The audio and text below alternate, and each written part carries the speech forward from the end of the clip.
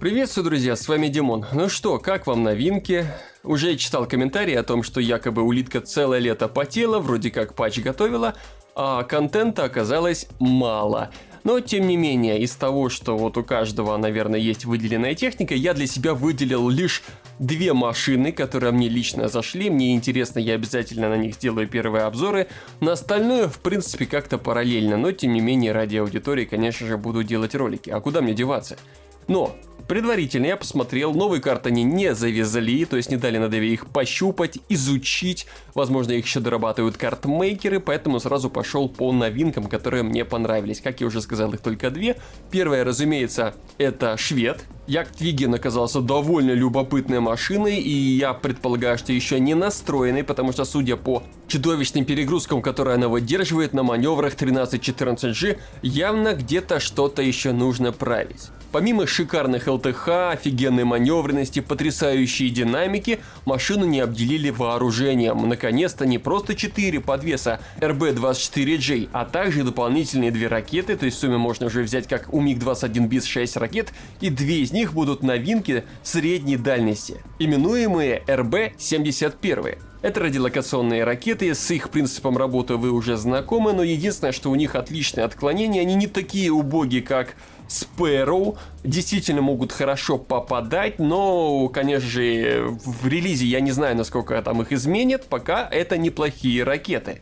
Напомню то, что Sparrow во время релиза тоже были очень неплохими ракетами с достаточно приличным процентом попаданий, но потом что-то пошло не так, разработчики каким-то образом их нерфанули, и от них осталось довольно мало толку поэтому лучше не зарекаться. Но тем не менее к этому самолету вообще невозможно придумать каких-то претензий, кроме каких-то невероятных перегрузок. Это шикарная машина, которая на данный момент по ощущениям мне понравилась значительно больше, чем МиГ-21 БИС.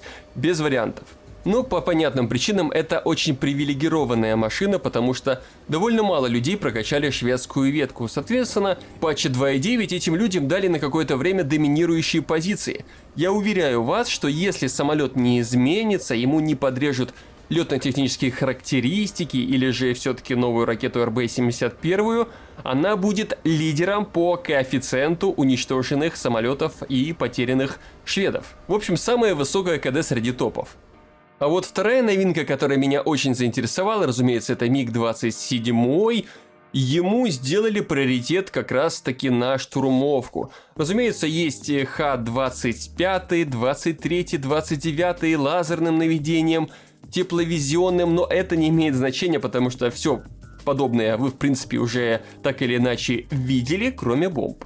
Я сразу обратил на них внимание, тут наведение тепловизионное – то есть в нашем случае требуется произвести захват с помощью специального прицела, потом уже сбросить бомбу, именно когда произошел захват. Единственное, что нужно учитывать, это высоту, траекторию, то есть хоть бомба отклоняется и какой-то степени наводится, но невозможно ее сбросить, когда вы на огромной высоте, на чудовищной скорости, а цель практически под вами. То есть бомба в любом случае сильно пролетит вперед. Здесь нужен небольшой опыт, но поверьте, быстро привыкаешь ко всем этим тонкостям и бомба летит как полагается. Разумеется, в куча мала, которая происходит в полигоне, невозможно нормально потестировать подобные штурмовые системы, но в пробнике даже оказалось проще. Я специально отлетел на хрен пойми какое расстояние, чтобы продемонстрировать вам самый страшный имбо-вариант использования данных бомб КАП-500. Есть возможность сбросить с 13 километров. Это то расстояние, которое не покрывают большинство ЗРК своей дальностью.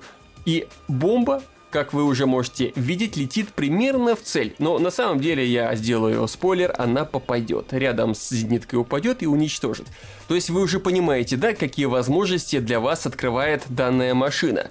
Наконец-то, хотя бы в таком виде, есть контра вражеским ЗРК на топ-тире. Единственное, что придется потратить немного времени, это сразу уйти на низы, отлететь подальше, набрать высоту и потом уже забрасывать вражеский респаун, там где находятся зенитки, подобными бомбами. Конечно, можно сбрасывать бомбы и на точки, где концентрированные силы противника. А можно делать все одновременно. Это умные бомбы, захватываете цель, сбрасываете, захватываете цель, сбрасываете. И так, пока не скинете 4 бомбы, они полетят по своим точкам назначения без проблем.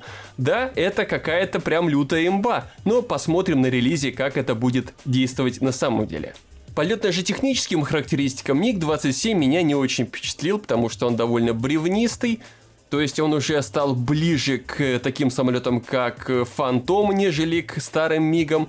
И создается ощущение, что придется попотеть, чтобы прокачать эту машину. Но спешу вас обрадовать, R60 доступны сразу в начале. То есть прямо на стоковом самолете. Все, что вы прокачиваете в дальнейшем, это лишь новые возможности по штурмовке противника. То есть различные ракеты, Х-25, 29, там э, как раз таки бомбу КАП-500 с ракетами же воздух-воздух. Все прекрасно, они есть сразу. Но вот с расположением ветки немного удивили. 27-й МиГ идет сразу после Як-28Б, а не после МиГа-23. Так что обладатели Яка-28 возрадуйтесь, у вас МиГ-27 появится побыстрее.